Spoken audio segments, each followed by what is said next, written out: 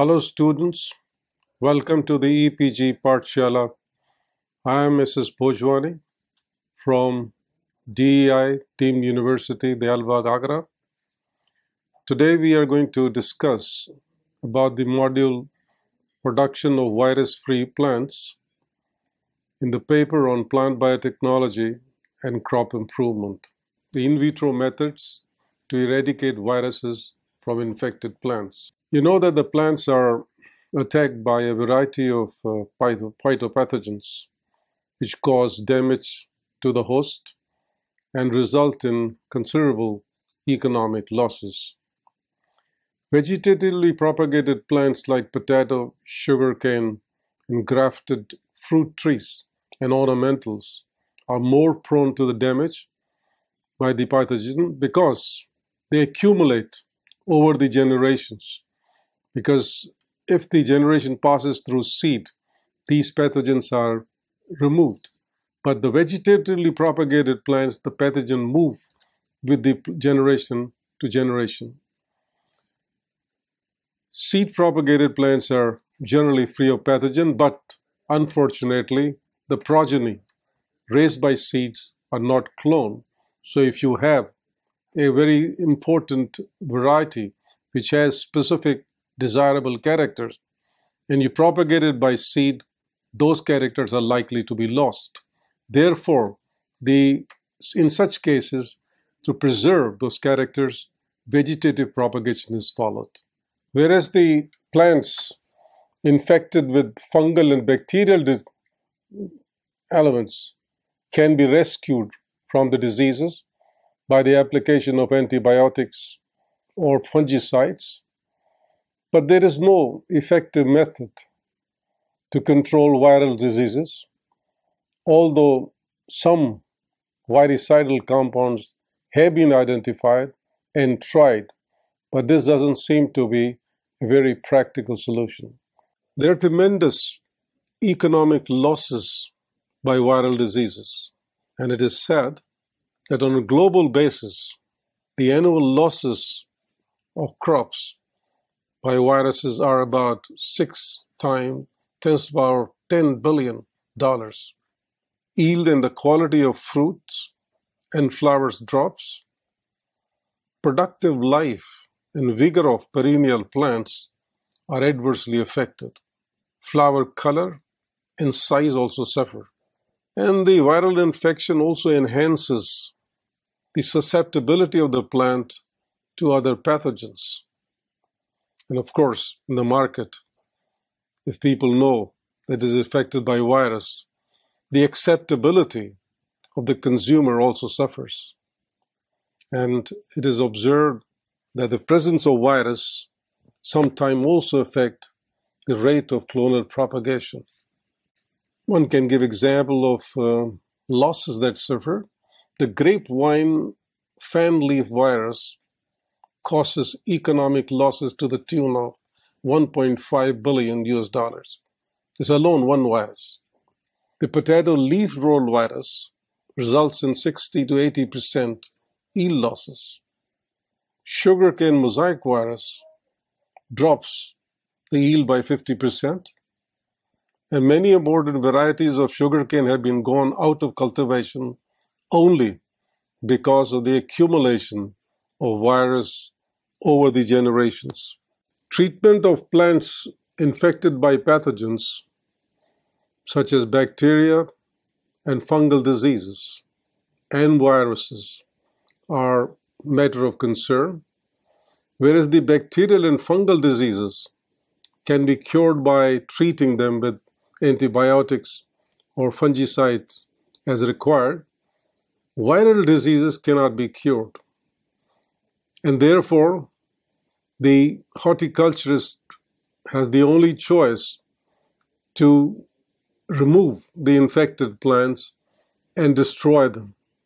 But in the long term perennial trees, it's difficult to remove the trees. Therefore, it is important that disease free plants are raised from the infected plants.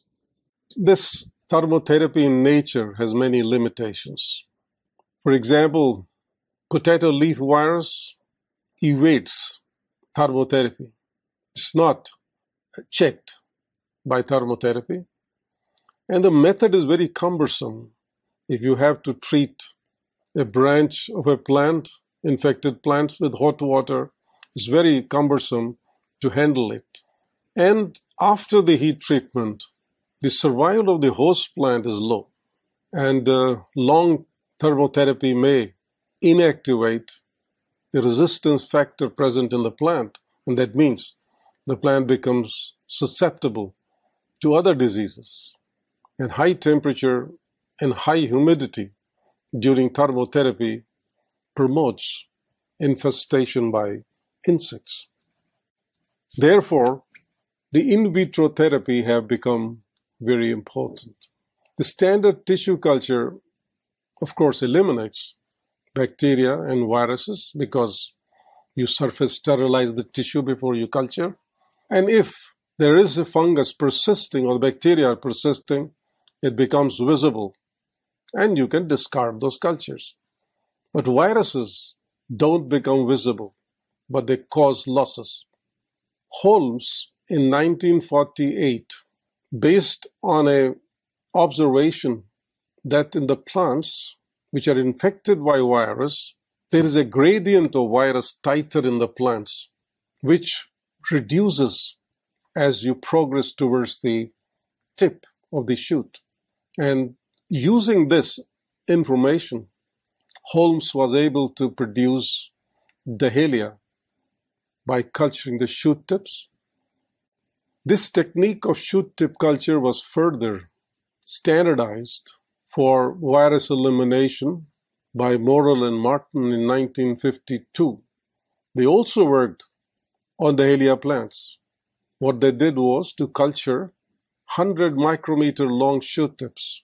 And when this developed into a shoot, unfortunately the shoots did not root. Therefore, to obtain the full plants, they have to graft this shoot on a healthy seedling stock. And since then, the shoot tip culture has become the most popular technique for virus elimination in plants. And combined with chemotherapy and or thermotherapy, it is even more effective in certain cases. Here's a picture of Morel, who is uh, credited for developing and popularizing the technique of shoot tip culture for virus elimination. Now, what is the basis of shoot tip culture for virus elimination? As I said, there is a gradient of virus in the plant body, the infected plant body, and the titer of the virus increases with distance from the meristem. Why? One has to ask the question, why is it so?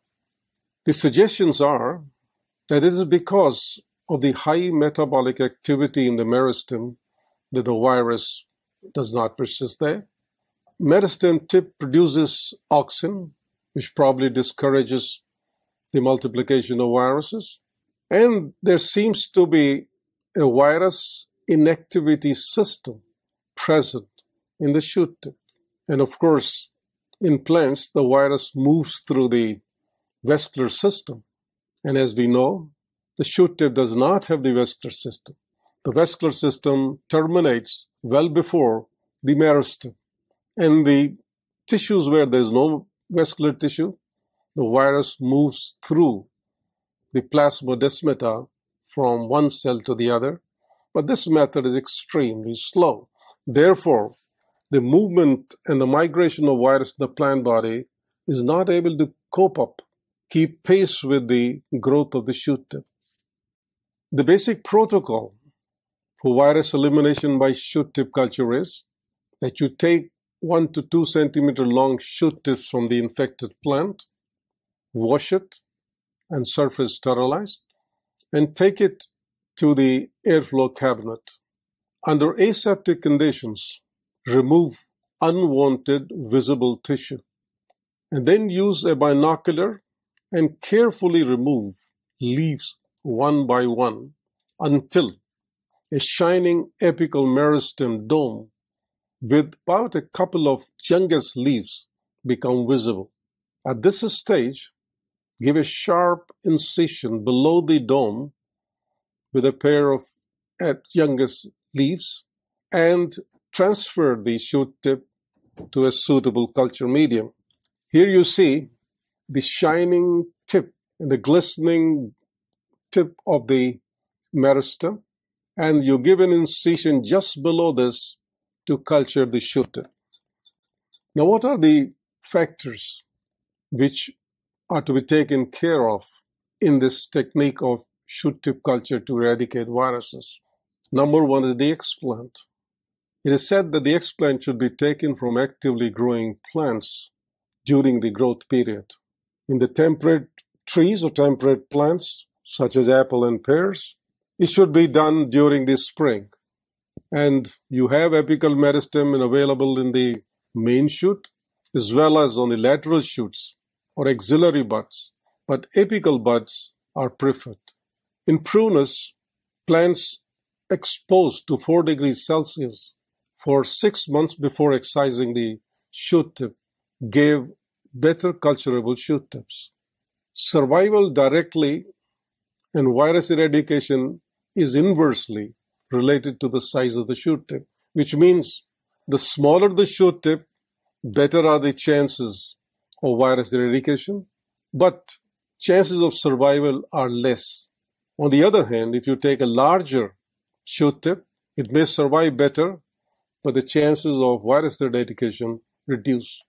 Therefore, generally, a sub-millimeter shoot tip carrying the meristem and one to two leaf primordia is generally cultured.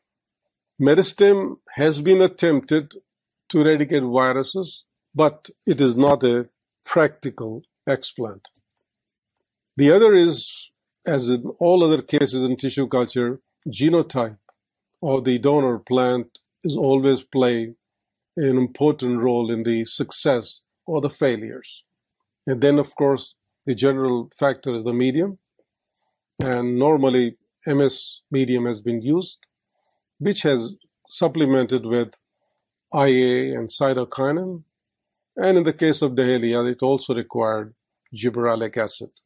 Semi-solid medium and if necessary liquid medium on filter paper bridge could be used. But semi-solid medium is much better. But if the shoot tip is sensitive to the agar, one can use liquid medium. But in that case, ensure that the shoot tip is not submerged by keeping it at the above the medium by the filter paper bridge. Smaller explants require growth regulators. And as I said, the requirement of growth regulator may vary for example, Dahlia required only cytokinin, peanut required auxin and cytokinin, and cassava requires auxin, cytokinin, and gibberellic acid. There are certain viruses which even invade the shoot meristem.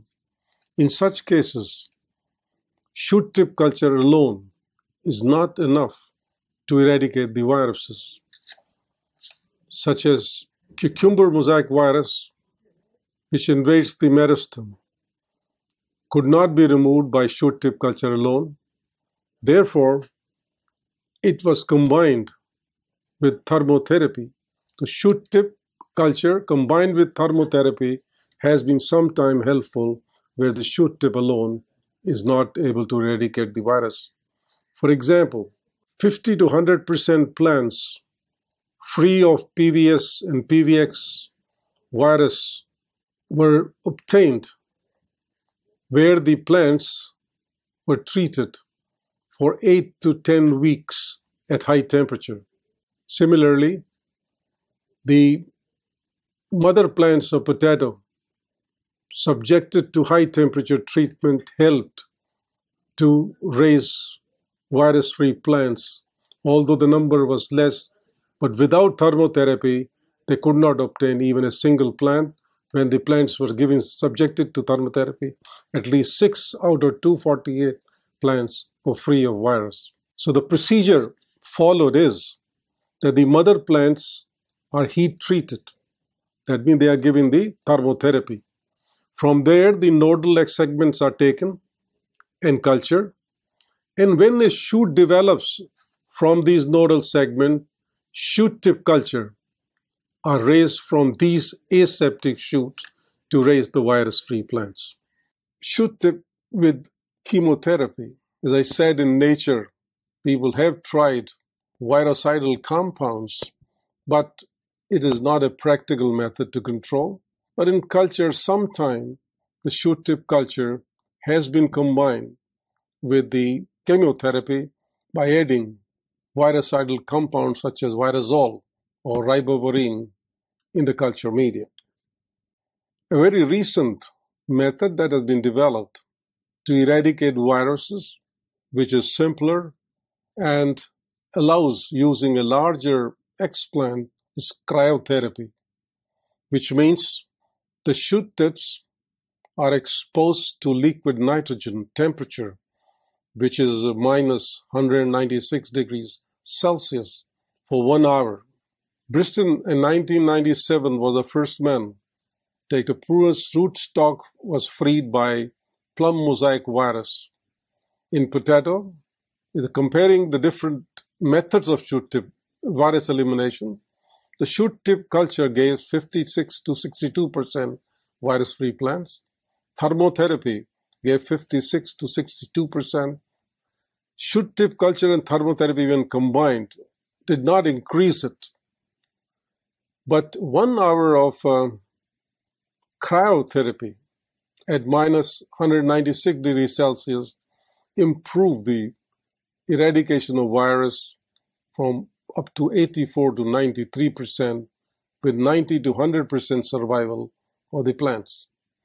It has been successfully applied to potato virus S, potato virus X, potato virus Y, and from potato, and a number of other viruses from um, fruit trees. In this case, the advantage is that you can use a larger explant. This is a flow chart showing you the technique of cryotherapy. You have infected in vitro stock cultures, excise the shoot tip, manipulation of shoot tip increase their tolerance by dehydration and using the cryoprotectant. Then you use subject it to vitrification by dehydration and treat it now with the liquid nitrogen. Post culture for survival and plant regeneration and then the plants are indexed. Here is a picture showing you the cryotherapy effect. The cryotherapy alone, what you see is the red cells are dead cells and green cells are the live cells. And the red cells are the mature, differentiated cells, and green are the meristematic cells. When you subject it to cryotherapy, most of the mature cells die, which are shown brown in the picture, but there are still some virus infected red cells. When you do shoot tip culture, this is when you do thermotherapy and shoot tip culture after thermotherapy, again, the virus elimination is not very effective. But if you do shoot tip culture after thermotherapy and then exposed to cryotherapy, you say most of the unwanted cell, most of the red cell which are infected with virus are dead. It's the only the green cells which are free of virus are alive. And when you culture such a shoot tip, the plants only develop from the green virus-free cells. The third technique that has been developed is that in trees, such as dahlia, citrus, peaches. The problem is that when you do shoot tip culture of the tree species, it's very difficult to root them. The shoots may develop, but rooting is difficult. Therefore, the alternative is to when the shoot develops, you can take the shoot tip and graft it on a root stock. If you see here, a tiny little bud has been grafted on the root stock. On the B, you will see the shoot tip has made a union with the grafted stock and it will now develop into a full plant. And this has been applied to a number of fruit trees. Once you have done either shoot tip culture or any other method of virus eradication, it is not sure that all the plants are free of viruses. Therefore, it is very important to do virus indexing and certification of these plants raised to shoot tip culture either after thermotherapy or after cryotherapy or without any further treatment. Because all plants raised from shoot tip culture are not free of virus. And one should remember that virus free plants are not virus resistant. Once you transfer to the field, they are liable for reinfection.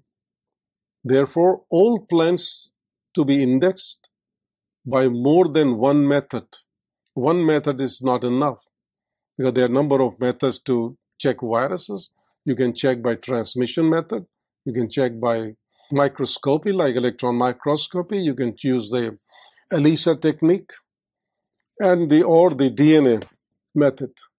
And certified virus plants to be maintained in net house Otherwise, they will get reinfected. So as I said, there are biological method of transmission to check the presence of virus. There are electron microscopy method. There's serological method such as ELISA. And there are nucleic acid based method like PCR, nucleic acid hybridization complementary RNA, and DNA microarray technology. Now, importance of virus elimination. Yield losses due to virus infection may be up to 100%, leading to complete crop failure. Facilitates international exchange of germplasm. Once you have certified that your plant is free of viruses, then you can send this material across the international boundaries. Otherwise, the quarantine will not allow its move enter into the other country. In ornamental plants, may improve the color, yield, and size of the bulbs. There was a gain of about 20% yield in peanut by removing peanut mottle potyvirus and potyvirus. Elimination of associated virus from Vitis vinifera, the grapes, increased the vigor and the yield. There are some risks when you remove the viruses because it is known that there is a phenomenon of cross protection that means mild viruses protect the plant from more severe virus. And secondly, when you do shoot tip culture, you're not eliminating only bad viruses, you're also removing good viruses.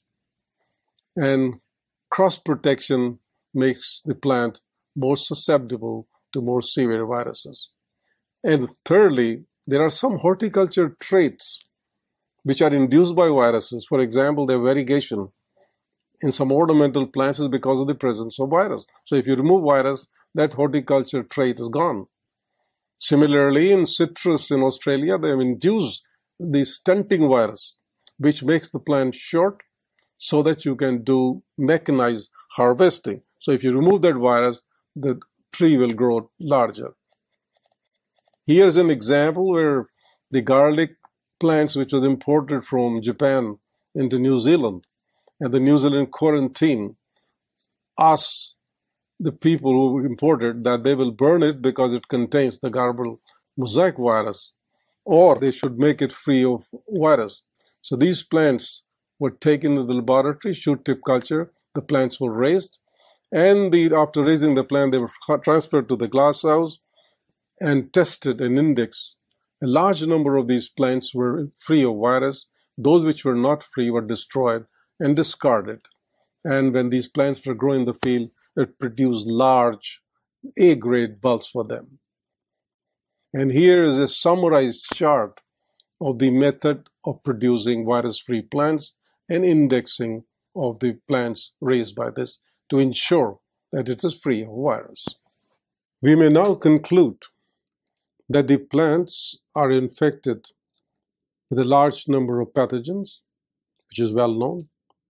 They are affected by fungal pathogens, bacterial, or even viruses. Whereas the fungal and bacterial infections can be cured by the application of fungicides and antibiotics, there is no effective method to control virus diseases. Therefore, the agriculturists normally follow the method of roguing, in which the infected plants are removed and destroyed. In field, there is no effective method to eradicate virus from the plants. However, tissue culture provides a very effective method to eliminate viruses, which is now widely followed by horticulturists. This technique was invented in 1950s by a French scientist named Morel. He, working on Dahlia, cultured the shoot tips of Dahlia and raised shoots from there. And many of the shoots that developed from the shoot tips of plants infected with Dahlia mosaic virus were free of the virus. Unfortunately, these shoots could not be rooted. Therefore, these shoots were grafted on a seedling stock to establish full plants. In other words, he was able to raise full virus-free plants of Dahlia for infected, from infected individuals. After that, this technique is being routinely used to eradicate viruses either alone or in combination with thermotherapy and chemotherapy. And more recently, we have cryotherapy, which is also very effective in eliminating viruses. In this lecture, therefore, we have described three main techniques, namely shoot tip culture, micrografting, and cryotherapy. Sometimes these need to be combined together depending on the virus and the host plant. Thank you.